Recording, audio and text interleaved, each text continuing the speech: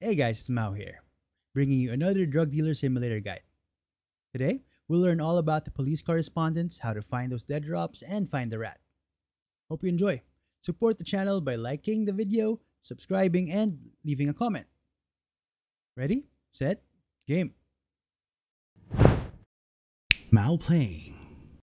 So to begin guys, this quest is part 2 of the 3-part psychedelic chain quest. After you finish the first quest and find out the location of their hideout, you're tasked to find the rat among the police. The problem is though, the game doesn't really teach you what to look out for. All they say is that you're looking for something out of the ordinary. And that's where I come in. I'm, I'm gonna help you out, so let's begin.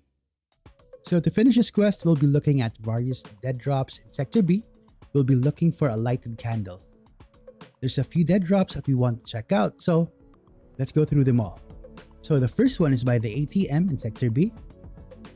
Check this wooden crate. Next is we head over here to the tunnel. You'll sometimes see a candle over here. You have to head down and check the first room. Search the wooden crate. Be sure to turn on your flashlight because it gets pretty dark down there.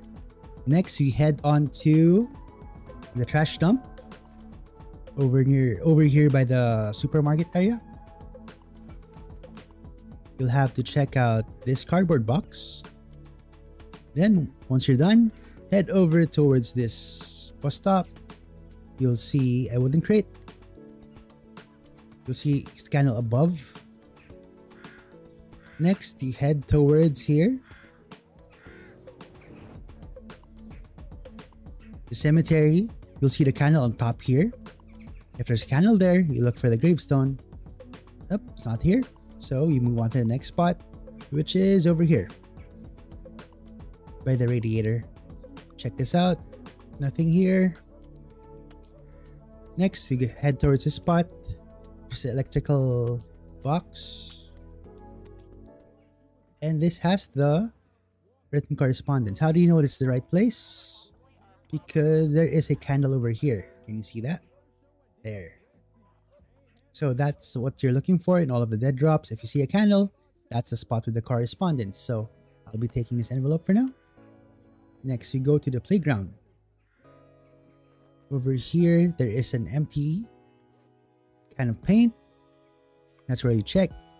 Next, we go through this flower pot or what do you call this? Yeah, flower pot. Then there's this large tire over here. That's where you check. Then you head back across the street, there is an old shoebox over here. There, check that out. Then we have two last stops, two last dead drops to check, which is over here by this dumpster, old cardboard box.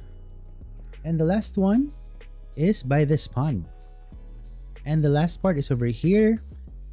By the pond, there's a rock. The candle is usually located on top.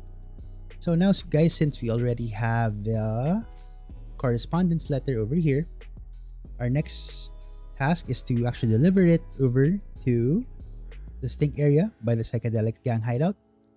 You'll have to do this three times. Once you do, you'll have completed the quest. And yeah, that's it. Hope you learned something new, guys. Thank you for joining. Please do like the video, leave a comment, subscribe. Thanks. See ya.